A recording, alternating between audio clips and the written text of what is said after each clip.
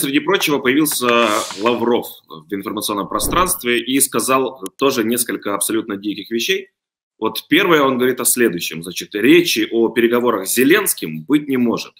А, по словам Лаврова, Россия готова рассмотреть любые серьезные предложения Запада по переговорам, но пока их не было.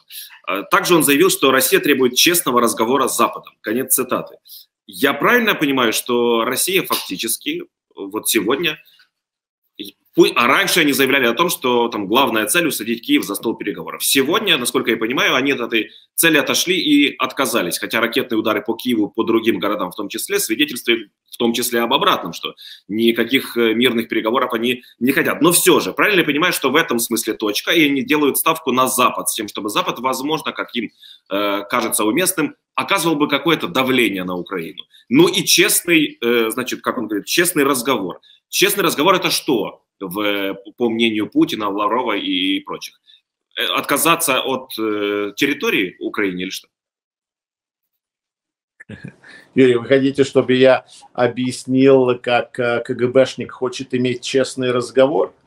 Я думаю, ну, ваши родители, мои родители, те, которые, те, которые прошли через это, Советском Союзе, да, давайте зайдем в КГБ и будем иметь честный разговор с ними. Они же честные ребята у нас, и все, они хотят честно, честно с вами поговорить, потом поставить к стенке и пустить пулю в затылок. Это будет честно. Вот для него, в его менталитете, это честно. Э, а так э, скажу словами генерала Лебедя, это у него ум такой, понимаете, ум такой у него.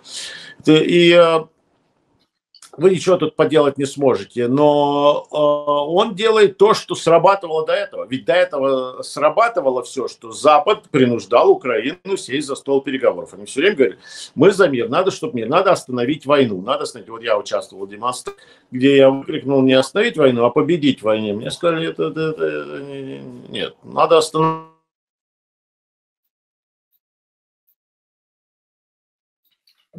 Конечно же, это... Упс это срабатывало и с Макроном, и с э, президентом Байденом, и до сих пор, что надо садиться и в конце концов имеют переговоры. Сегодня они тоже продолжают говорить, что надо все равно переговоры, но уже риторика другая, переговоры на условиях Украины. То есть, когда вы сдаетесь, когда вы объявляете капитуляцию, это тоже переговоры. Поэтому мы будем ожидать переговоров э, Украиной когда они будут принимать капитуляцию Москвы. И это тоже переговоры. И на этих переговорах, на этих условиях Украина... А какие условия? Уже же все...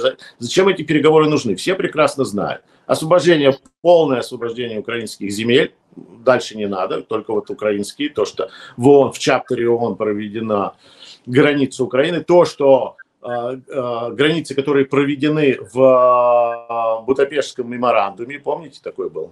Вот Конечно. эти границы, в этих границах, которые мы давали заверение, что они сохранятся. Если Украина отдаст э, э, ядерное оружие, это я кидаю камень в сторону тех, которые говорят, что ни Америка, никто ничего Украине не должен, никакого оружия, должны, должны. Такой, был такой меморандум. Вот, и э, наказание виновных, при, наказание преступников военных и репарации репарации пострадавшим и Украине и так далее. Что дальше? Что вы хотите? Что из этого вы хотите отдать во время переговоров? Ничего. Поэтому переговоры, я думаю, уже состоялись. Украине сегодня нужна победа, как можно быстрая победа. Для этого Украине нужно оружие.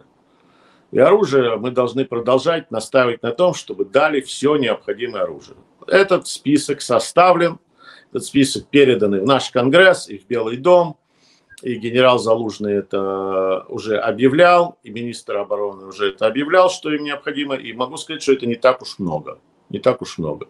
Это капля в море по сравнению с тем, что даже имеется на вооружении у Соединенных Штатов Америки.